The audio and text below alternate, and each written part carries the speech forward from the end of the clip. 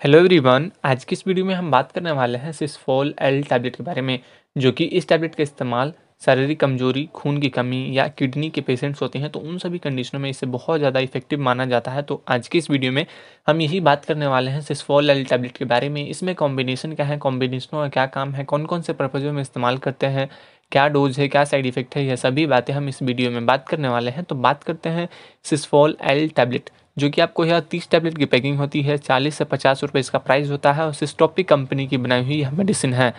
अब बात करते हैं सिस्फॉल एल टैबलेट में क्या क्या कॉम्बिनेशन है। तो इसमें एक ही कॉम्बिनेशन है जो कि एल मिथाइल फोलेट कैल्शियम है, जो कि हर एक टैबलेट में आपको वन एम अवेलेबल हो जाता है, जो कि यह फॉलिक एसिड का एक्टिव फॉर्म है। एल मिथाइल फोलेट कैल्शियम जो कि बॉडी में फोलेट लेवल के कम हो जाने के कारण काफ़ी तरीके की समस्याएँ होने लगती हैं।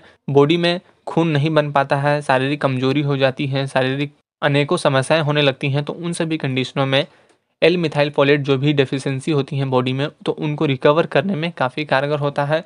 इसे खास तौर पे एनीमिया की समस्या को दूर करने में काफ़ी कारगर होता है। बॉडी में खून की कमी को दूर करता है। आरबीसी काउंट को इम्प्रूव करता है। रेड ब्लड सेल्स को बढ़ाने में काफ़ी कारगर होता है। इसके साथ ही साथ यह किडनी के फ़ंक्शंस को भी इम्प्रूव करता है। जो भी किडनी स्टोन होने के चांसेज होते हैं तो उन चांसेज को बहुत ज़्यादा कम करने में काफ़ी कारगर हो जाता है।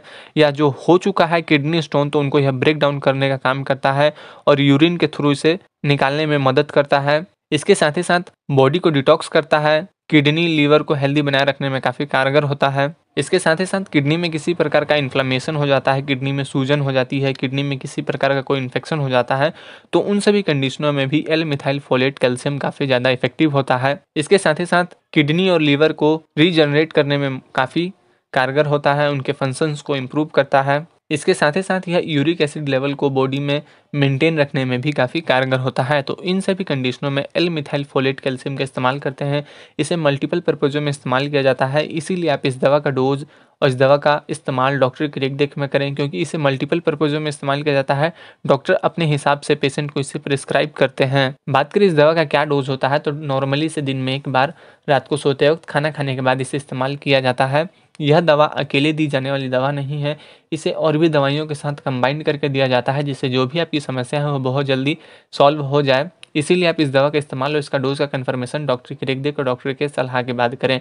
डोज डिपेंड करता है कि आपकी एज क्या है हेल्थ कंडीशन क्या है, आप इसे किस पर्पज़ में ले रहे हैं, उस हिसाब से इसका डोज बढ़ भी सकता है और घट भी सकता है। इसीलिए आप इसका डोज का कन्फर्मेशन डॉक्टर की रेख देख में करें, किसे नहीं लेना है? अगर आप प्रेग्नेंट लेडी हैं ब्रेस्ट फीडिंग मदर हैं, किसी भी प्रकार का आपको कोई भी क्रिटिकल मेडिकल कंडीशन में कोई मेडिसिन का कोर्स चल रहा है तो उन सभी कंडीशनों में आप इसे इस्तेमाल ना करें। और करते हैं तो डॉक्टर की रेख देख में करें, क्या नुकसान हो सकता है? अगर आपको सूट नहीं करता है तो वॉमिटिंग सर में दर्द, त्वचा में लालीपन, बहुत ज़्यादा नींद आना, भूख ना लगना, इस तरीके के नुकसान देखने को मिल सकता है।